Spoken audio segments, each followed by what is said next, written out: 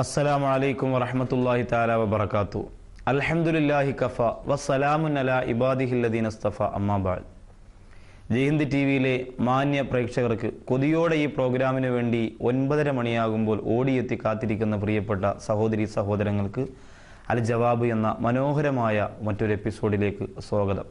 അലഹമില്ല പ്രകൃതി ആയുർവേദ ഹോസ്പിറ്റലാണ് ഇതിന്റെ പിന്നിലുള്ള സാമ്പത്തിക ചിലവുകളൊക്കെ നോക്കുന്നത്.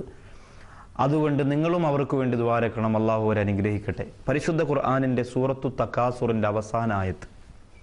ആയത്ത് എന്താണെന്ന് നിങ്ങൾക്കറിയാം. പക്ഷേ ആയത്ത് പറയുന്നതിന് മുമ്പ് അത് മനസ്സിൽ തറയ്ക്കുന്ന രീതിയിൽ ഒരു സംഭവം എനിക്ക് നിങ്ങളോട് പറയാനുണ്ട്. നംസലല്ലാഹു അലൈഹി വസല്ലമ തങ്ങളും സഹാബികളും ഏറെ പട്ടിണി കിടന്നിട്ടുള്ളവരാണ് എന്ന് നമുക്കറിയാം. പച്ചിലകൾ പറിച്ചു കഴിച്ച ചരിത്രം നമ്മുടെ മുന്നിലുണ്ട്. ഒരുപാട് പ്രസംഗങ്ങളിൽ നമ്മളൊക്കെ അത് സൂചിപ്പിച്ചതാണ്. നമുക്കൊന്നും അങ്ങനെ ഒരു കഷ്ടപ്പാടും അത്ര ഒരു ദാരിദ്ര്യവും ഒന്നും അള്ളാഹു തന്നിട്ടില്ല. ഇനിയും എത്ര കാലം കഴിഞ്ഞാലും തരുമെന്ന് തോന്നുന്നില്ല. അതിനുള്ള സൗകര്യങ്ങളൊക്കെ നമ്മുടെ നാടുകളിൽ പുരോഗതിയിലേക്ക് എത്തിക്കൊണ്ടിരിക്കുകയാണ്. അങ്ങനെ ഒരിക്കൽ ഈ കഷ്ടപ്പാടിലും കണ്ണീരിലും ഇരിക്കുമ്പോൾ നബി സല്ലല്ലാഹു അലൈഹി വസല്ലമ തങ്ങൾക്ക് സുഭിക്ഷമായ ഭക്ഷണം കിട്ടി. സഹാബികൾക്ക് സന്തോഷമായി. നബിതങ്ങൾക്ക് സന്തോഷമായി. എല്ലാവരും കഴിക്കട്ടെ. നല്ല മനോഹരമായ ആ കാലഘട്ടം. നമ്മളിന്ന് പത്തിരിയും ഇറച്ചിയും എന്നൊക്കെ പറയുന്ന പോലെ അന്ന് കഴിക്കാൻ പറ്റുന്ന ഒരു ഭക്ഷണം. ആ ഭക്ഷണം അബു അയ്യൂബൽ അൻസാരി റളിയല്ലാഹു താലാനുവിന്റെ നേതൃത്വത്തിൽ നബിതങ്ങൾക്ക് സഹാബികൾക്ക് ഇങ്ങനെ സുഭിക്ഷമായ രീതിയിൽ വിളമ്പി കൊടുത്ത് കഴിക്കാൻ പറഞ്ഞു. സഹാബികൾ എത്രയോ നാളുകളായി ഭക്ഷണം കഴിച്ചിട്ട് വലിയ സന്തോഷമായ അവർക്ക് ഭക്ഷണമെല്ലാം കഴിച്ചിട്ട് ആ സന്തോഷം പങ്കിടാൻ വേണ്ടി അവർ ഒരുമിച്ചിരുന്നപ്പോൾ നബി സല്ലല്ലാഹു അലൈഹി വസ്ലമ തങ്ങളെ മാത്രം കാണുന്നില്ല. നബി തങ്ങളെ കാണുന്നില്ല. സഹാബികൾ അത്ഭുതപ്പെട്ടു. എവിടെയാണ്? മുത്തു റസൂൽ എവിടെയാണ്? ഒരാൾ ഓടി വന്നിട്ട് പറഞ്ഞു നബിതങ്ങൾ അങ്ങ് അകലെ ഒരു സ്ഥലത്ത് മാറിയിരുന്ന് കരയുന്നത് ഞാൻ കണ്ടു.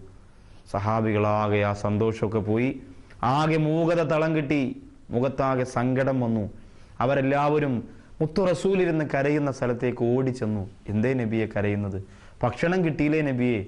നല്ല രുചികരമായ ഭക്ഷണം കിട്ടിയില്ലേ? വിശപ്പ് മാറിയില്ലേ? പിന്നെന്തിനാ കരയുന്നത്? നബിതങ്ങൾ നിറഞ്ഞു തുളുമ്പുന്ന കണ്ണുകൾ തന്റെ മുഖമുയർത്തി സഹാബത്തിന് കാണിച്ചപ്പോൾ സഹാബികളാകെ വിഷമത്തിലായി. മുത്തറസൂൽ എന്നിട്ട് അവരോട് പറഞ്ഞു കൊടുത്തത് സൂറത്തു തക്കാസുറിന്റെ അവസാന ആയത്താണ്. സുമ്മലത്തുസ് നബിതങ്ങൾ പറയുന്നു ഈ കഴിച്ച ഭക്ഷണമില്ലേ? ഇതിനെക്കുറിച്ച് അള്ളാഹു നാളെ എന്നോട് ചോദ്യം ചെയ്യും. നീ അന്ന് ഇത്ര സമയത്ത് ആ ഭക്ഷണം കഴിച്ചില്ലേ? എന്നൊരു ചോദ്യം എന്നോടുണ്ടാവും.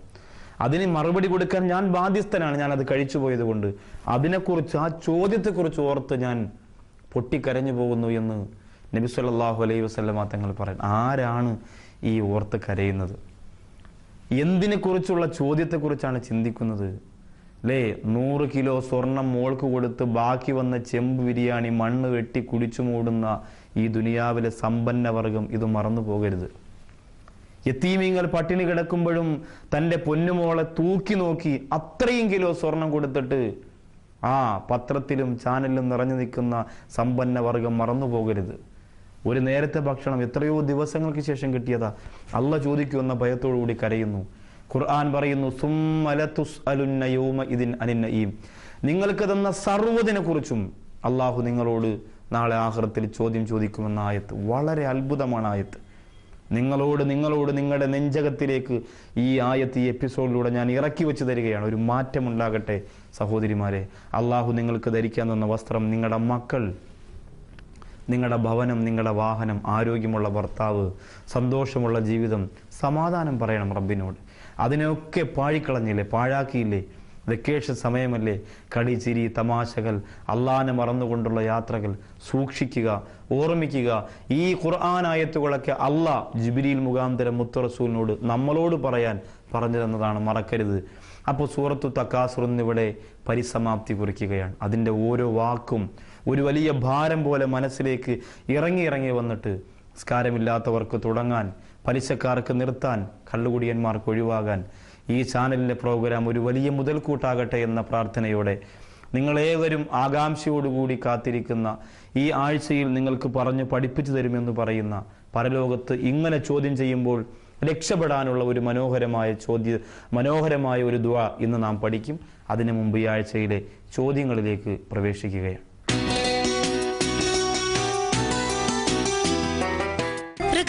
ആയുർവേദ ഹോസ്പിറ്റൽ ദക്ഷിണ കേരളത്തിലെ പ്രശസ്ത അസ്ഥി നട്ടെല്ല് രോഗ ചികിത്സാ കേന്ദ്രം എന്റെ നാട്ടിലാണ്. മധ്യ തിരുവിതാംകൂറിലെ ഏറ്റവും വലിയ multi speciality Ayurveda hospital Prakruthi Ayurveda hospital and research centre Karunagappally. ഇരുപത് വർഷത്തെ സേവന പാരമ്പര്യം നട്ടെല്ല് രോഗങ്ങൾ മദ്യപാനം മൂലമുള്ള കരൾ രോഗങ്ങൾ പ്രമേഹം അലർജി തൊക്ക് രോഗങ്ങൾ അർഷസ് തുടങ്ങി എല്ലാ രോഗങ്ങൾക്കും സമ്പൂർണ ചികിത്സ. ഈ പ്രകൃതിയിലേക്ക് വരൂ. ആരോഗ്യപൂർണമായ ഒരു ജീവിതം ആസ്വദിക്കും. പ്രകൃതിയിലേക്ക് വരൂ.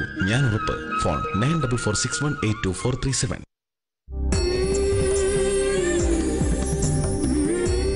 ഈ ഐശ്വര്യത്തിന്റെ രഹസ്യം Krishna Thulasi hair tonic Krishna Thulasi hair tonic ഒരു എം വി എം ഉൽപ്പന്നം. ഇത് നട്ടിയുടെ പ്ലെയിൻ കാഷ്യൂസ് നിങ്ങളുടെ മമ്മിക്ക് നട്ടിയുടെ ചില്ലി ഗാർലിക് കാഷ്യൂസ് പപ്പയ്ക്ക്. നട്ടിയുടെ ഡ്രൈ റോസ്റ്റഡ് കാഷ്യൂസ് എനിക്ക്. അപ്പൊ ഞങ്ങൾക്ക്?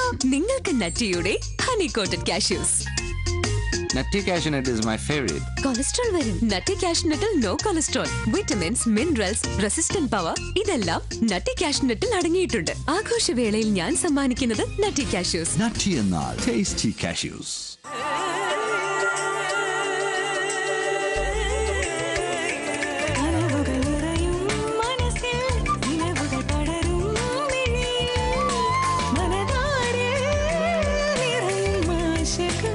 M K fabrics Kollam. ഇനി കല്യാണ പെണ്ണാകാൻ ആരും കൊതിക്കും. നിങ്ങൾ പ്രമേഹ രോഗിയാണോ തളർച്ച അമിതദാഹം മൂത്രം പോക്ക് ബലക്ഷയം കിതപ്പ് ഇവ നിങ്ങളെ അലട്ടുന്നുണ്ടോ? പ്രകൃതിയുടെ കൽമേഹ ഡ്രിങ്ക്സ് ശീലമാക്കുക. കൂടെ അല്പം വ്യായാമവും പ്രമേഹവും കൊളസ്ട്രോളും ഹൃദ്രോഗവും അകറ്റി നിർത്തുന്നു. കൽമേഹ പാൻക്രിയാസിന്റെ ബീറ്റ കോശങ്ങളെ പുനരുജ്ജീവിപ്പിക്കുന്നു. ഇൻസുലിൻ ഉൽപാദനം വർദ്ധിപ്പിച്ച് പ്രമേഹവും കൊളസ്ട്രോളും ക്രമീകരിക്കുന്നു. ഇനി നിങ്ങൾക്കും മധുരപൂർണമായൊരു ജീവിതം ആസ്വദിക്കാം. മുൻകൂട്ടി ബുക്കിംഗിന് Malappuram zero nine eight nine five zero two three double five one Thazhava Karunagappally zero nine eight zero nine seven eight three six two nine അസ്സലാമു അലൈക്കും പ്രകൃതി ആയുർവേദ ഹോസ്പിറ്റലിന്റെ അൽജവാബ് പ്രോഗ്രാമിലെ ചോദ്യോത്തരവേളയിലേക്ക് സ്വാഗതം. ആദ്യത്തെ ചോദ്യമാണ് എന്റെ ഭർത്താവ് നമസ്കരിക്കുന്നില്ല. ഞാൻ എത്ര പറഞ്ഞിട്ടും കേൾക്കുന്നില്ല. ഉസ്താദ് അൽ ജവാബിലൂടെ ഒരു മറുപടി തരാമോ? ഒരു സഹോദരി മണ്ണാർക്കാട് നിന്നുമാണ് ചോദിച്ചിരിക്കുന്നത്. അതിന് മറുപടി എന്ത് മറുപടിയാണ് ആ സഹോദരി പ്രതീക്ഷിക്കുന്നത് എന്ന് എനിക്കറിയില്ല പിന്നെ ദുർഗുണങ്ങളുണ്ടെങ്കിൽ. ഇപ്പോൾ അതിലും ഇപ്പോൾ ഈ മദ്യം ഈ അടിമത്വം എന്തിന് എന്ന കാസറ്റ് ഇപ്പോൾ ഒരാഴ്ചയായിട്ടുള്ള വിപണിയിൽ ഇറങ്ങിയിട്ട് അലഹമില്ല അതൊരു വലിയ തരംഗവും ഒരു മാറ്റവും സൃഷ്ടിച്ചു നമ്മുടെ യുവാക്കൾക്കിടയിൽ. ഒരു എന്നെ ഇപ്പോൾ നേരിട്ട് വിളിച്ചു പറഞ്ഞവരിലും കണ്ടവരിലും ഒരു പത്ത് ഇരുപത്തി അഞ്ചോളം ചെറുപ്പക്കാർ അത് കണ്ടിട്ട് മദ്യത്തിൽ നിന്ന് മാറിയവരാണ്. അപ്പോൾ വലിയ സന്തോഷം ആ വിഷയത്തിലുണ്ട്. അങ്ങനെ ഒരു മാറ്റം ഈ പെങ്ങളുടെ ഭർത്താവിനും ഉണ്ടാകണം. ഇബാദത്തിലേക്ക് താല്പര്യം ഉണ്ടാകണം. അതിന് വേറൊന്നും പറയാനില്ല. അതിന്റെ അതുമായി ബന്ധപ്പെട്ട് മനസ്സിന്റെ അകത്ത് താല്പര്യം തോന്നിപ്പിക്കുന്ന കാസറ്റുകൾ പഠന പ്രോഗ്രാമുകൾ അതിലൊക്കെ ഭർത്താവിനെ എത്തിക്കാനുള്ള സൗകര്യം പ്രിയപ്പെട്ട ഭാര്യ കൂടി നിന്ന് ചെയ്തു കൊടുക്കുകയും പ്രഭാഷണങ്ങൾ ക്ലാസ്സുകൾ കേൾപ്പിക്കുകയും ചെയ്യുക. പിന്നെ ഈ പെങ്ങൾ തന്നെ പൊട്ടിക്കരഞ്ഞ റബ്ബിനോട് ഹിദായത്തിന് വേണ്ടി ദ്വാരക്കുക അള്ളാഹു എത്രയും പെട്ടെന്ന് നിസ്കാരത്തിലേക്ക് മടങ്ങാൻ. അത് മനസ്സിൽ ഹൗഫില്ലാതെ ഭയമില്ലാതെ ജീവിക്കുന്നത് കൊണ്ടാണ്. അള്ളാഹു തന്ന അനുഗ്രഹങ്ങളെക്കുറിച്ച് നന്ദി രേഖപ്പെടുത്തണം എന്ന ഓർമ്മയുണ്ടെങ്കിൽ ഉറപ്പായും ഇബാദത്തിലേക്ക് ആ പ്രിയപ്പെട്ടവൻ മടങ്ങി വരുന്നതാണ്. ഇൻഷാ അള്ളാഹു ഹിദായത്ത് കൊടുത്ത് അനുഗ്രഹിക്കട്ടെ. അകന്നു കഴിയുന്ന ഭർത്താവിന്റെ വീട്ടുകാരുമായി ഒന്നിച്ചു ജീവിക്കാൻ ഉസ്താദ് ഒരു ദുവാ പറഞ്ഞു തരണം. ഒരു സഹോദരി വളരെ വിഷമത്തോടെ ചോദിച്ചിരിക്കുന്നു. അതിന് ദുവായേക്കാൾ ഏറ്റവും നല്ലത് നേരിട്ട് പോയി നിങ്ങളുടെ ജീവിതത്തിന്റെ സന്മനസ് തുറന്നു കൊടുക്കുക എന്നതാണ്. അത് തന്നെയാണ്. അല്ലാതെ അകന്നു കഴിയുന്നവരെ അടുക്കാൻ വേണ്ടിയിട്ട് അങ്ങനെ ദുവാ ചെയ്തിട്ട് കാര്യമില്ല. നമ്മളുടെ മനസ്സാണ് അവരെ അടുപ്പിക്കേണ്ടത്. നമ്മുടെ മനസ്സിന്റെ താല്പര്യം അങ്ങോട്ട് കൊടുത്തതിന് ശേഷം അവർ വരുന്നില്ലെങ്കിലാണ് പിന്നെ ദിക്കറ് സ്വലാത്ത് ദുവാ മറ്റ് കാര്യങ്ങളൊക്കെ നോക്കണം അതുകൊണ്ട് നല്ലതുപോലെ ഇൻഷാല്ല അവരുമായി ഇടപെടണം. ഈ പിണക്കങ്ങൾ അധികരിക്കാതിരിക്കാനാണ് സൂറത്തുൽ ഇഖ്ലാസ് നല്ലതാണത് ഓതൽ. അപ്പോൾ ഈ സൂറത്ത് തന്നെ ഇൻഷാല്ല കൃത്യം കൃത്യമായി ഓതിയിട്ട് ദ്വാരക്ക് ആദ്യം നിങ്ങൾ അവിടെ പോയി നല്ല മൃദു സമീപനത്തോടു കൂടി. എനിക്ക് പിണക്കമില്ല പിണങ്ങി മരിച്ച നരകമാണ്. അതുകൊണ്ട് ഞാൻ അതിനില്ല തർക്കമില്ല എന്റെ ദ്വാ സ്വീകരിക്കില്ല. അതുകൊണ്ട് ഞാൻ പിണക്കമില്ലാത്ത മനസ്സിന്റെ ഉടമയാണെന്ന് ബോധ്യപ്പെടുത്തുക.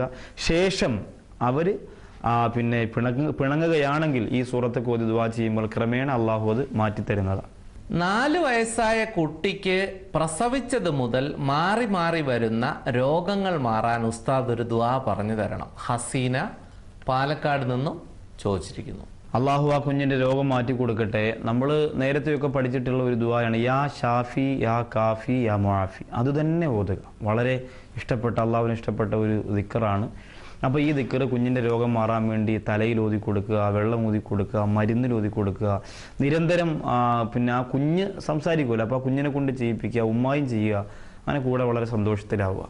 ഖുർആൻ ഓതിക്കൊണ്ടിരിക്കുമ്പോൾ ഉളു നഷ്ടപ്പെട്ടാൽ ഓതിക്കൊണ്ടിരിക്കുന്നത് നിർത്തുന്നതിനോ അത് എടുത്തു വെക്കുന്നതിനോ ഉളു എടുക്കണമെന്നുണ്ടോ? സുബൈദ. ഖുർആൻ ഓതിക്കൊണ്ടിരിക്കുമ്പോൾ ഉളു മുറിഞ്ഞാൽ പിന്നെ ചെയ്യേണ്ടത് ഉളു എടുക്കലാണ്.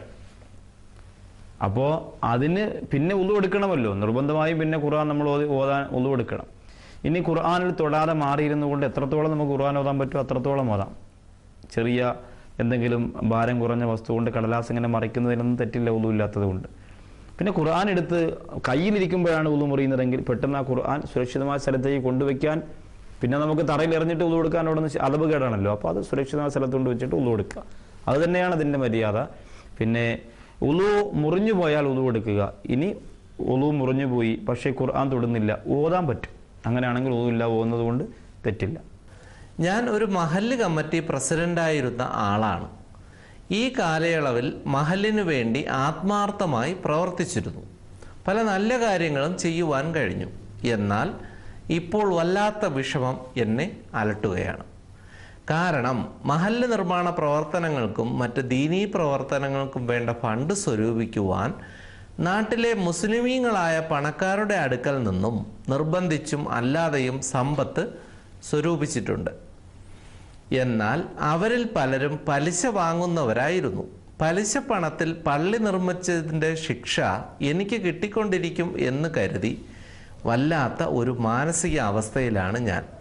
ഈ പരിപാടിയിലൂടെ എന്നെ ഒന്ന് സഹായിക്കണം. ഒരു മുൻ മഹല്ല് കമ്മിറ്റി പ്രസിഡന്റാണ് ചോദിച്ചിരിക്കുന്നത്. ഇന്നമായ ഉമുറു മസാജിദ് അള്ളാഹിമൻ ആമന ബില്ലാഹി വൽ യോമിൽ ആഖിർ എന്ന് തുടങ്ങുന്ന അള്ളാഹുവിന്റെ പരിശുദ്ധ ഖുർആനിൽ പള്ളി പരിപാലിക്കുന്നവർക്കുണ്ടാകേണ്ടുന്ന ചില ഗുണഗണങ്ങളെ സംബന്ധിച്ച് വിശദീകരിക്കുന്നുണ്ട്. ഇന്ന് ഒരുപാട് മാറ്റമുണ്ട്. പഴയതുപോലെയല്ല ഇടക്കാലത്തൊക്കെ പള്ളിയുടെ സംഘാടകരെന്ന് പറഞ്ഞാൽ ബ്ലേഡ് കമ്പനിക്കാരും കള്ളുകുടിയന്മാരും അങ്ങ് തുടങ്ങി ഒരുപാട് ഫിത്തിനയുടെ ആളുക ആളുകളായിരുന്നു. പള്ളിയുടെ പ്രസിഡന്റ് സെക്രട്ടറി ഒക്കെ ആയിട്ട് ആകെ ബഹളങ്ങളും. ഇപ്പോൾ അതിനൊക്കെ ഒരു മാറ്റം വന്നിട്ടുണ്ട്. കുറേയൊക്കെ എത്തി ദീനീ ബോധമുള്ളവർ ആ മേഖല കൈയടക്കി കാരണം അവരോട് അള്ളാഹു നാളെ ചോദ്യം ചോദിക്കുമെന്നുള്ള ഗൗരവം വന്നപ്പോൾ പള്ളി പരിപാലനമൊക്കെ ദീനി ചിട്ടയിലൂടെ വന്നുകൊണ്ടിരിക്കുന്നു. അതിന്റെ ഒരു തെളിവാണ് ഈ പ്രസിഡന്റിന്റെ ചോദ്യം.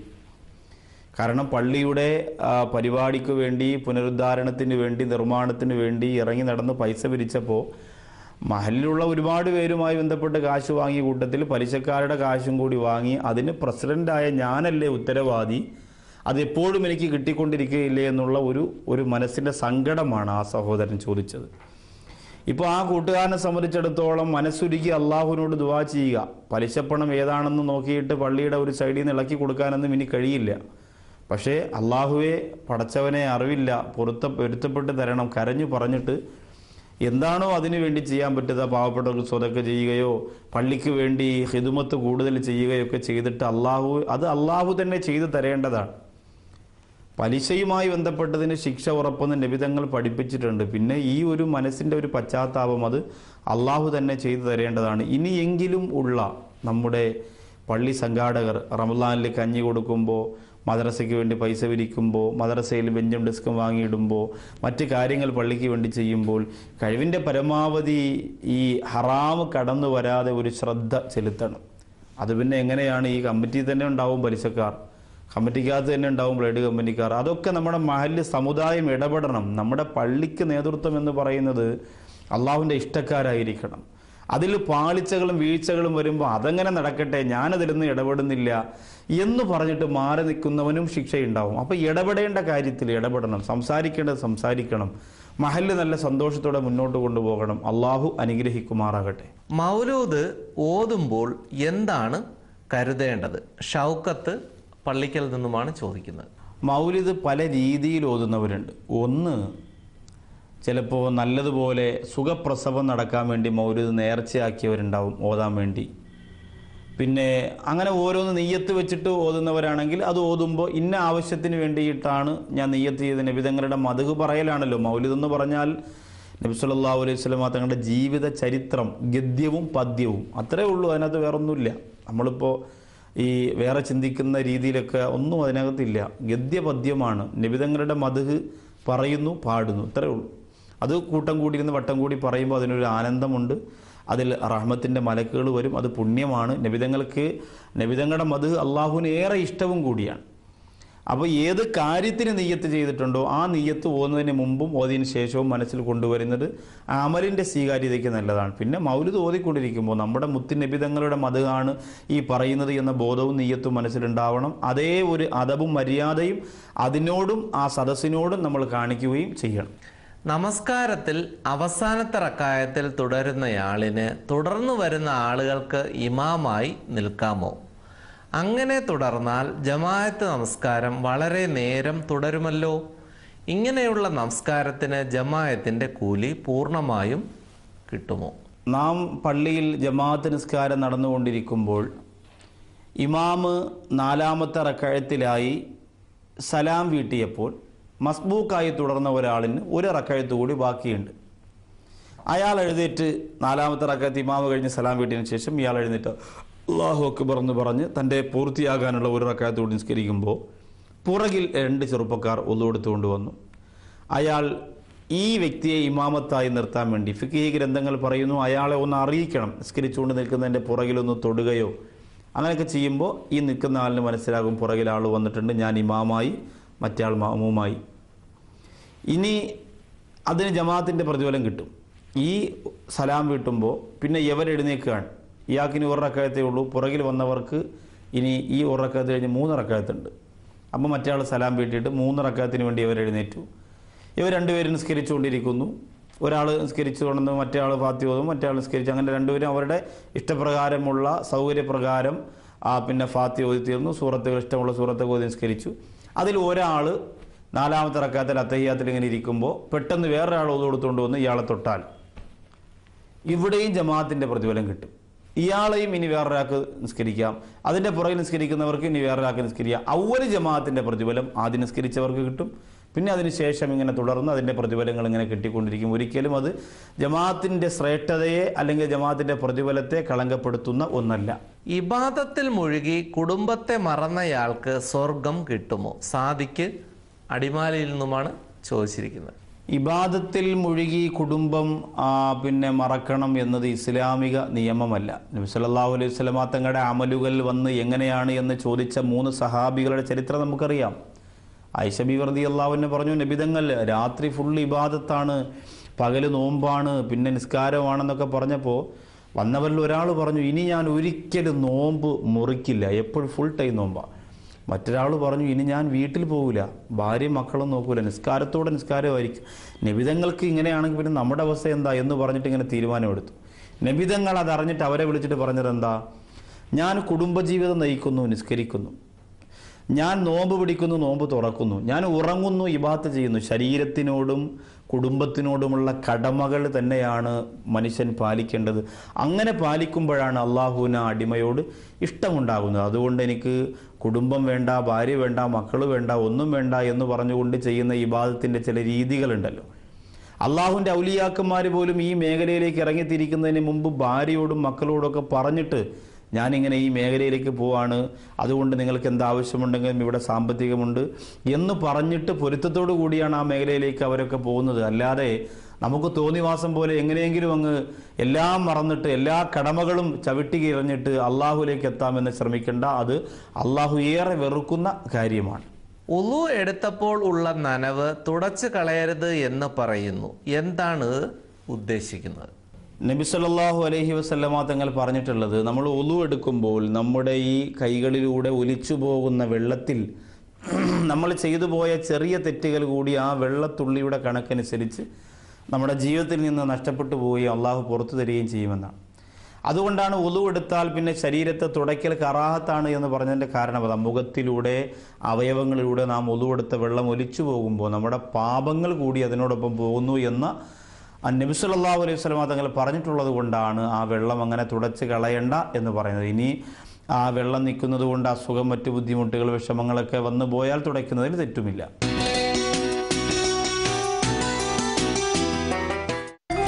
ആയുർവേദ ഹോസ്പിറ്റൽ ദക്ഷിണ കേരളത്തിലെ പ്രശസ്ത അസ്ഥി നട്ടെല്ല് രോഗ ചികിത്സാ കേന്ദ്രം എന്റെ നാട്ടിലാണ്. മധ്യ തിരുവിതാംകൂറിലെ ഏറ്റവും വലിയ multi speciality Ayurveda hospital Prakruthi Ayurveda hospital and research centre Karunagappally. ഇരുപത് വർഷത്തെ സേവന പാരമ്പര്യം നട്ടെല്ല് രോഗങ്ങൾ മദ്യപാനം മൂലമുള്ള കരൾ രോഗങ്ങൾ പ്രമേഹം അലർജി തൊക്ക് രോഗങ്ങൾ അർഷസ് തുടങ്ങി എല്ലാ രോഗങ്ങൾക്കും സമ്പൂർണ ചികിത്സ. ഈ പ്രകൃതിയിലേക്ക് വരൂ. ആരോഗ്യപൂർണമായ ഒരു ജീവിതം ആസ്വദിക്കൂ. പ്രകൃതിയിലേക്ക് വരൂ. ഞാൻ ഉറപ്പ്. Phone nine double four six one eight two four three seven. Krishna തുളസിയുടെ പരിശുദ്ധി ഇനി വീടിനുള്ളിലേക്ക്. കൃഷ്ണ തുളസി കഫ് സിറപ്പ് ഉണ്ടെങ്കിൽ ചുമ തുമ്മൽ ജലദോഷം കഫക്കെട്ട് എല്ലാം പമ്പ കിടക്കും. Krishna Thulasi cough syrup. അണുബാധയൊന്നും ഇല്ലല്ലോ ആർക്ക്? വെള്ളത്തിലേ. ഇത് മോളിലെ വാട്ടർ ടാങ്കിൽ നിന്ന് വരുന്ന വെള്ളാ മനുഷ്യ. ഏതാ ടാങ്ക് മേഘ വാട്ടർ ടാങ്ക് അപ്പൊ ധൈര്യമായിട്ട് കുടിക്കാം. പൂപ്പലൊന്നും കടക്കില്ല. ശുദ്ധമായ വെള്ളമായിരിക്കും. എന്റെ വീട്ടിലും മേഘ തന്നെയാ. ഓഹോ അത് ശരി. മേഘ വാട്ടർ ടാങ്ക് ഏത് കാലാവസ്ഥയിലും വർഷങ്ങളോളം. Low cholesterol vitamins minerals resistant power ഇതെല്ലാം നട്ടി കാഷ്നട്ടിൽ അടങ്ങിയിട്ടുണ്ട്. ആഘോഷവേളയിൽ ഞാൻ സമ്മാനിക്കുന്നത് നട്ടി കാഷ്യൂസ് നട്ടി എന്നാൽ ടേസ്റ്റി cashews. നട്ടെല്ല് തേയ്മാനം മുട്ടു തേയ്മാനം വെരിക്കോസ് ഗർഭപാത്രത്തിൽ മുഴ തൈറോയിഡ് സോറിയാസിസ് ആസ്മ. മദ്യപാനം പുകവലി കരൾ രോഗങ്ങൾ. പ്രകൃതിയിലേക്ക് വരൂ. പൂർണ ആരോഗ്യത്തോടുകൂടി മടങ്ങൂ. പ്രകൃതി ആയുർവേദ മൾട്ടി സ്പെഷ്യാലിറ്റി ഹോസ്പിറ്റലിലെ വിദഗ്ധ ചികിത്സയിലൂടെ പൂർണ സുഖം പ്രാപിച്ച നൂറുകണക്കിന് പ്രമേഹ രോഗികൾ സാക്ഷ്യപ്പെടുത്തുന്നു. പാൻക്രിയാസിന്റെ ബീറ്റ കോശങ്ങളുടെ പ്രവർത്തനം പുനരുജ്ജീവിപ്പിക്കുവാൻ പ്രകൃതി ഹോസ്പിറ്റലിന് കഴിയും. ഇനി നിങ്ങൾക്കും മധുരപൂർണമായൊരു ജീവിതം ആസ്വദിക്കാം.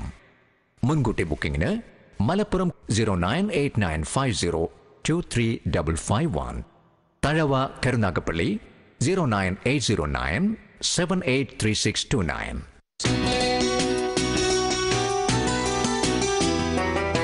അള്ളാഹു സുബഹാനുഭവത്താല ഇന്ന് നാം പറഞ്ഞ ചോദ്യങ്ങളും അതിനുള്ള ഉത്തരങ്ങളും. ഉത്തരങ്ങളെന്ന് പറയുമ്പോൾ എന്റെ സ്വന്തം ഇഷ്ടപ്രകാരം പറയുകയാണെന്ന് ആർക്കും തോന്നരുത്. ഉസ്താദുമാരുമായിട്ട് ആലോചിച്ച് നല്ല സുന്നത്ത് ജമാഅത്തിന്റെ പണ്ഡിതന്മാരുമായി ആലോചിച്ച് അതിന് വ്യക്തമായ മറുപടിയാണ് തരുന്നത്. എല്ലാവരെക്കാളും വലിയൊരു ആദ്യമായി ചമഞ്ഞ് ഇവിടെ ഇരുന്ന് മറുപടി പറയുന്നു എന്ന് പലർക്കും ഒരു തോന്നലുണ്ട്. അതൊക്കെ എന്റെ പ്രിയപ്പെട്ട സഹോദരങ്ങൾ മാറ്റി വിനയത്തോടു കൂടി ഈ പ്രോഗ്രാമുമായി സഹകരിക്കുക. തിരഞ്ഞെടുത്ത ഒന്നാമത്തെ ചോദ്യത്തിനുള്ള സമ്മാനം കൊടുക്കുന്നത് അറഫ ഗോൾഡാണ്. അവരുടെ ബിസിനസ്സിലും അവരുടെ സ്ഥാപനങ്ങൾക്കുമെല്ലാം ചാലയിലുള്ള അറഫ എന്ന ആ സഹോദരന്റെ സ്ഥാപനത്തിന് അള്ളാഹു എല്ലാ ഐശ്വര്യങ്ങളും ചൊരിഞ്ഞു കൊടുക്കട്ടെ. രണ്ടാം സമ്മാനം കൊടുക്കുന്നത് പവർ സോണിക് ഡിജിറ്റൽ ഇൻവെർട്ടർ സ്ഥാപനം നടത്തുന്ന വടകരയിലെ മുസ്തഫ എന്ന സഹോദരനാണ് അള്ളാഹു. ഐശ്വര്യം ചൊരിഞ്ഞു കൊടുക്കുമാറാകട്ടെ. അലഹമുല്ല അലഹമുല്ല പടച്ചറബിന്റെ കോടതിയിൽ നിങ്ങളെ ചോദ്യം ചെയ്യപ്പെടുമ്പോൾ സർവതും ചോദിക്കുമല്ലോ ആ സമയത്ത് രക്ഷപ്പെടുന്ന വിഭാഗത്തിലാകാൻ വേണ്ടി ഒരു ദുവ ഇൻഷാല്ല നിങ്ങൾ നിരന്തരം ഈ പഠിക്കുന്ന ദുവായൊക്കെ എഴുതി വെച്ചാൽ ഇപ്പോൾ ഒരു വലിയ പുസ്തകം നിറയാൻ പറ്റുന്ന രീതിയിലുള്ള ദുവായാണ് ഇൻഷാല്ല റമദാൻ ഷെരീഫ് ആകുമ്പോൾ നമ്മുടെ ജയ്ഹിന്ദിലെ ഈ ദുവായും കുറച്ച് പ്രധാനപ്പെട്ട കുറച്ച് ചോദ്യോത്തരങ്ങളെല്ലാം കൂടി ചേർത്ത് ഒരു പുസ്തക രൂപത്തിൽ ഇറക്കി നിങ്ങളുടെ മുന്നിൽ എത്തിക്കണമെന്ന് ആഗ്രഹമുണ്ട്. പിന്നെ അതിന്റെ പേരും പരസ്യവും പറഞ്ഞുകൊണ്ട് നടക്കാൻ എനിക്ക് നേരമില്ല. നിങ്ങൾ അന്വേഷിച്ച് നിങ്ങൾ വാങ്ങണമെന്നാണ് ഞാൻ ഓർമ്മപ്പെടുത്തുന്നത്. അപ്പോൾ പരലോകത്ത് ഷാക്കിരീങ്ങളുടെ കൂട്ടത്തിൽ നന്മയുള്ളവരുടെ കൂട്ടത്തിൽ പെടാൻ വേണ്ടി ഒരു ദുവ അലഹമില്ല ദുവായിലേക്ക് വരാം. എല്ലാവരും എല്ലാവരും എഴുതിയെടുക്കുക. ഔദു ബില്ലാഹിമിന ഷെയ്ത്താൻ റജീം. ബിസ്മില്ലാഹി റഹ്മാൻ റഹീം. അള്ളാഹുമ്മ അള്ളാഹുമ്മ ർസുക്കിന നിഅമത്ത ലിഖായിക വഹ്ശുർന സുംറത്ത ഔലിയായിക അള്ളാഹുമ്മ ർസുക്കിന നിഅമത്ത ലിഖായിക അള്ളാഹുമ്മ അള്ളാഹുമ്മ ർസുക്കിന അള്ളാഹുവെ നീ ഞങ്ങൾക്ക് നൽകണമേ. നിഅമത്ത ലിഖായിക നിന്നെ കാണുക എന്ന നിഅമത്ത്. നിന്നെ കാണുക എന്ന അനുഗ്രഹം നീ ഞങ്ങൾക്ക് നൽകിയണമേ അള്ളാഹു മർസുക്കന നിഅമത്ത ലിഖായിക വഹ്ശുറുന ഫി സുംബ്രത്തി ഔലിയായിക്ക വഹ്ശുറുന നീ ഞങ്ങളെ നാളെ ഒരുമിച്ച് കൂട്ടണമേ. വി സുംബ്രത്തി ഔലിയായിക്ക നിന്റെ ഏറ്റവും നല്ല മിത്രങ്ങളുടെ കൂട്ടത്തിൽ പെടുത്തണം അല്ലാതെ ഫിർഔനും നമ്രൂദും പോലെയുള്ള ധിക്കാരികളുടെ കൂട്ടത്തിൽ ആഖിറത്തിൽ കൊണ്ടുവരാതെ നീ വിചാരണയ്ക്ക് ചോദ്യത്തിന് വേണ്ടി നിർത്തുമ്പോൾ ഔലിയായിക്ക. നിന്റെ ഔലിയാക്കളുടെ നിന്റെ ഇഷ്ടത്തോഴന്മാരുടെ കൂട്ടത്തിൽ ഞങ്ങളെ കൂടി ചേർക്കണമേ. അള്ളാഹുമ്മ അള്ളാഹുമ്മ റുസുക്കിന നിഅ്മത്ത ലിഖായിക വഹ്ശുറുന സുംബ്രത്ത ഔലിയായിക ഇൻഷാല്ല പഠിക്കുക മനസ്സിലാക്കുക. ഈ പ്രോഗ്രാം കൃത്യമായി നമ്മിലേക്ക് എത്തിക്കുന്നത് പ്രകൃതി ആയുർവേദ ഹോസ്പിറ്റലാണ്. അള്ളാഹു താല അവിടെ വരുന്ന രോഗികൾക്ക് പൂർണമായും ഷിഫാവ് കൊടുത്ത് അനുഗ്രഹിക്കട്ടെ. കരുനാഗപ്പള്ളി തഴവയിൽ അതുപോലെ മലപ്പുറം ജില്ലയിലെ ഇടപ്പാൾ പത്തനാപുരത്തുമുള്ള അവരുടെ സ്ഥാപനങ്ങൾ അവരുടെ സ്റ്റാഫുകൾ എല്ലാവർക്കും അള്ളാഹു എല്ലാ ഐശ്വര്യങ്ങളും ചൊരിഞ്ഞു കൊടുക്കട്ടെ. നിങ്ങളുടെ അഭിപ്രായങ്ങൾ നിർദ്ദേശങ്ങൾ ചോദ്യങ്ങൾ അയക്കേണ്ടുന്ന വിലാസം A M Naushad Baqavi chief ഇമാം വള്ളക്കടവ് മുസ്ലിം ജമാഅത്ത് തിരുവനന്തപുരം എന്ന വിലാസത്തിലോ A M Naushad Baqavi Darul Ishq Thennoor Kunam Mudapuram P O Chirayinki Thiruvananthapuram. ഇൻഷാല്ല ഇതേ പ്രോഗ്രാമുമായി ഇതേ സമയം അടുത്ത ആഴ്ചയിൽ സൂറത്തുൽ കാരി ആ എന്ന അള്ളാഹുവിന്റെ വലിയ ഒരു ഭയാനകരമായ മുന്നറിയിപ്പാണ് ആ സൂറത്തിലുള്ളത്. ആ സൂറത്തുമായി വീണ്ടും നമുക്ക് കണ്ടുമുട്ടാം ഇൻഷാല്ല. അതുവരേക്കും അസ്സലാമലൈക്കും വറഹമത്തല്ലാഹി താല പാ